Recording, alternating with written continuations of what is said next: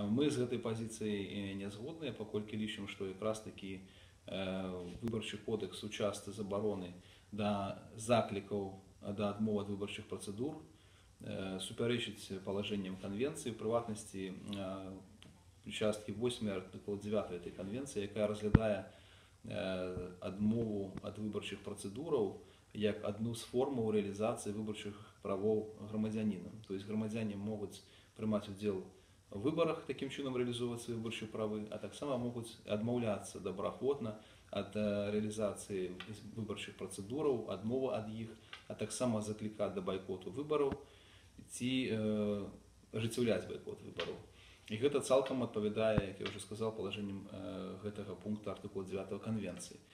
І калі мы гаворым пра артыкул 6 канвенцыі, які гаворыць пра тое, што не павінны падтрымацца дзеянні, якія скіраваныя на зрыв выбарчых працэдураў, маецца на ўвазе тое, што гэта нейкія заклікі да зрыву пераносу выбараў в прынцыпе, а не заклікі да адмовы ад рэалізацыі сваіх выбарчых правоў.